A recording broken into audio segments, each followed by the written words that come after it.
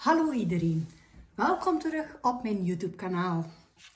Vandaag ga ik verder met de twin reading van de, de sterrenbeelden.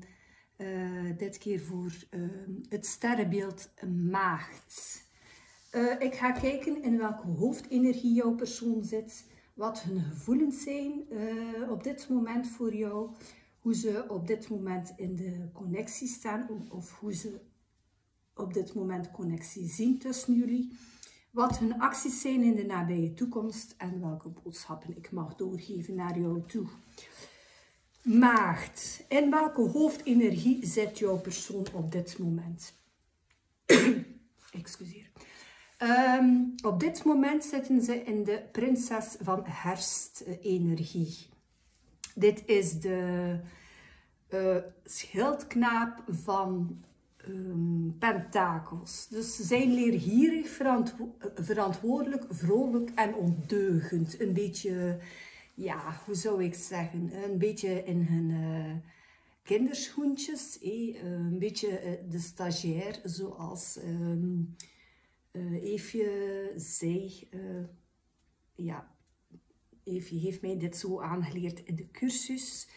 Uh, goed nieuws wat betreft je carrière, bevordering of toelage. Goed doordachte plannen die perfect verlopen een duwtje nodig hebben om op hang te komen. Dus ze zitten wel in die energie, een beetje ondeugend. Eh, dat ze wel een duwtje nodig hebben in hun rug. Uh, een beetje in de stagiair-energie zitten ze op dit moment. Wat ligt er daar dan onder? De drie van herfst, dus de drie van pentakels. Volg je passie, ook wat je werk betreft, wees de beste in wat je doet. Beloond worden voor creatieve talenten. Dit wil ook wel zeggen uh, dat ze ehm, opwaardering uh, vinden in hetgeen dat ze doen. En uh, het kan ook zijn uh, dat er samengewerkt wordt met iets of iemand. Dit is hoofdenergie. Wat voelen ze nu voor jou, maagd, op dit moment? Met de zeven van de winter. Dit is de zeven van zwaarden. Um, wilt het zeggen, er is een betere optie, de zaken niet helder zien, weglopen van de waarheid. Dus het zegt een beetje zelf, um, als ze aan jou denken en hun gevoelens uh, voor hen, uh, lopen ze een beetje weg van de waarheid. Um, ze zien jou graag, enorm graag, maar uh, ze bedriegen zichzelf door uh, dit uh, niet in te zien. Waarom zeg ik dit nu? Omdat daaronder ligt de aas van zomer. Dit is de aas van bekers. Open je hart voor liefde. Het begin van een nieuwe intieme relatie of de wedergeboorte van een bestaande relatie. Het ontwaken van paranormale haven of spirituele openbaringen. Dus dit wil zeggen dat ze echt wel dit nieuw begin willen met jou. Ze willen ja, een, ja, jou hun liefde geven. Hè? Dit is uh, ook hoe ze zich voelen. Um, ze zijn eigenlijk echt wel verliefd op jou. Wat ligt er daar dan nog naast van hun gevoelens? De krachtkaart. De benodigde gratie en innerlijke kracht om obstakels te overwinnen. De kracht van vriendelijkheid en vergeving. Tijd om te omarmen hoe glorieus jij bent. Ja, ze voelen zich wel krachtig bij jou. Dit wil ook wel zeggen, als ze aan jou denken, dat ze volmondig ja willen zeggen in de liefde voor jou. Hoe staan ze nu op dit moment in de connectie, maagd? Of hoe zien ze de connectie tussen jullie? Uh, de eerste kaart die eruit kwam was de keizer. Maak gebruik van logica en structuur om je succes, succes te vergroten. Breng je zaken op orde, een daadkrachtige maar meelevende leider. Ja, dat is een beetje ja, relatie, uh, relatiestructuur. Uh, zo zien ze het. Een beetje ja, um, het kan ook zijn dat de een of de andere een beetje macht gebruikt in eh, de connectie of de situatie. Wat ligt er daar dan onder? De dromer. De dromer staat voor de dwaas. Omhaals je ware lotsbestemming. Begin een nieuw avontuur. heb vertrouwen in jezelf. Dus hoe zien ze nu op dit moment uh, de connectie tussen jullie? Uh, ja, ze willen wel dat, uh, ja, ze zien het wel als een avontuur. Um, ze zien of ze willen wel dat nieuwe begin, dat nieuwe avontuur aangaan met jou. Met de vier van winters ligt daar dan naast. Dit wil zeggen de vier van zwaarden. Zet je zorgen even opzij. Je kunt later een beslissing nemen, oplossingen die tot je komen tijdens meditatie. De behoefte aan meer slaap of een vakantie.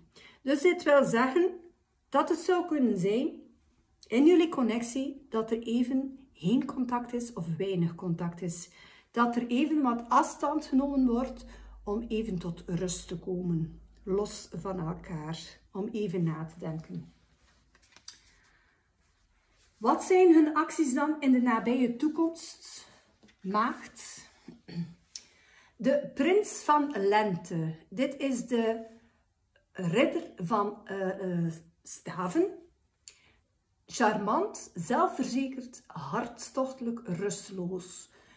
Onmiddellijke actie, een uitdaging die je goed aan kunt, een hartstochtelijke relatie. Dus uh, wat zijn hun acties naar jou toe in de nabije toekomst? Ze zullen actie ondernemen, vol passie, vol vuur, heel zelfzeker en charmant. Dus dat is ja, ook een beetje dat ze in volle vaart naar jou willen toekomen. Wat ligt daar dan onder? de prinses van lente. Dus dit is de schildknaap van staven. Optimistisch, enthousiast, creatief, levenslustig. Het is tijd om je dromen na te jagen. Doe iets wat je horizon verbreedt. Geef je creativiteit vleugels. dat is ook weer ja, die uh, ja, optimistisch, eigenlijk echt enthousiast naar jou toe komen en vol levenslust. Dus uh, vol passie, vol levenslust gaan ze naar jou toe komen. Uh, wat ligt er daar dan nog naast? De acht van zomer. Dit is de acht van kelken. Het verlangen naar een meer betekenvol leven. Beseffen dat het tijd is om door te gaan. Ervoor kiezen om grote veranderingen in je leven door te voeren. Dus dit wil zeggen, maagd, dat ze met de acht van bekers op weg willen gaan naar hun levensdoel. En dit is, eh, het levensdoel is naar jou toe te komen. Welke boodschappen wil jouw persoon nu nog meegeven? Ze zeggen maagd met de aas van herfst, de aas van pentakels, uh, een financiële meevaller of een buitenkans, de aanzien van advies of of hulp van anderen een bijzonder succesvol project, een prettig verandering in je werk. Dus ze zeggen maagd van uh, ze willen jou dat stabiel aanbod uh, geven. Dus dit willen ze wel. En wat willen ze nog meegeven? De magier. Je kunt alles doen wat je wil. Neem je leven in je eigen handen. Alles wat je nodig hebt om succesvol te zijn, kun je zelf manifesteren. Dus ze zeggen dat ze dit nieuw stabiel aanbod willen aanbieden aan jou en dat ze op dit moment dit aan het manifesteren zijn. Dit was de twin reading voor het sterrenbeeld Maagd. Mocht je de video leuk vinden, geef een duimpje omhoog.